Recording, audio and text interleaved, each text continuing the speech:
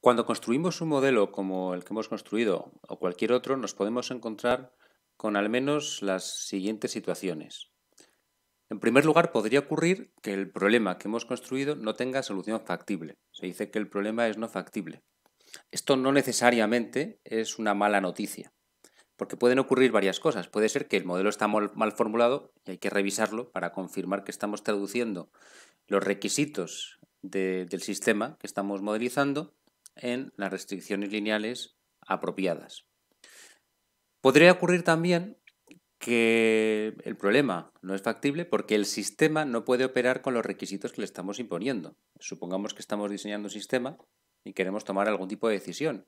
Y podría ser el caso aquí, tenemos mucha más demanda por parte de nuestros clientes que la capacidad máxima que podríamos llegar a instalar. Entonces, no es un problema que nuestro modelo eh, no tenga solución factible, sino que lo que pone de manifiesto es que no podemos pedirle eso. En estos casos lo que podemos hacer es relajar el modelo y minimizar el incumplimiento de algunas restricciones para que el modelo nos ayude. Es decir, en una toma de decisión, un proceso de toma de decisiones, no es nada satisfactorio decirle al responsable que no hay solución. Hay que decirle no hay solución y podría haber solución si aumentaras la capacidad o si aumentaras la capacidad en tanta cuantía en, este centro, por ejemplo. Entonces, lo que se hace en esos casos es relajar el problema para permitir eh, obtener soluciones que sean lo más parecidas al modo de funcionamiento deseable del sistema.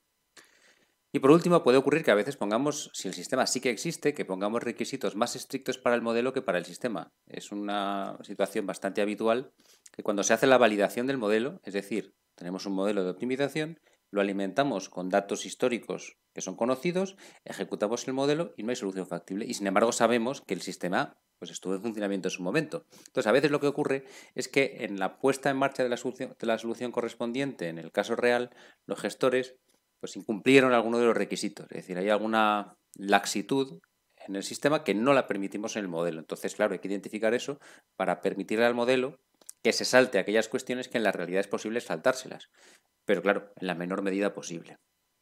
También podría ocurrir que no consigamos una solución factible, pero tampoco tengamos certeza de que el problema no tenga solución factible. Es decir, el, solver comienza a, a, tratar de encontrar soluciones y pasado un tiempo tiempo razonable para poner en marcha la decisión correspondiente, no encontrar una solución factible, pero tampoco nos ha dicho que el problema no es factible. Esta es la peor de las situaciones, porque no sabemos qué es lo que está ocurriendo.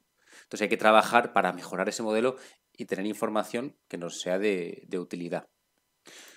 Otra solución es que haya una solución factible y nos la proporcione el solver, pero que no sea óptima. Entonces aquí la pregunta es si la calidad de la solución que obtenemos en el tiempo en el que la obtenemos es aceptable. Y puede ser, y lo veremos después, que mm, estemos a una solución que no, de la que tenemos certeza que en mejor de los casos podría mejorar un 5%, pero la hemos obtenido en, pues en unos segundos. Imaginemos una decisión que se, que se tiene que tomar con cierta frecuencia.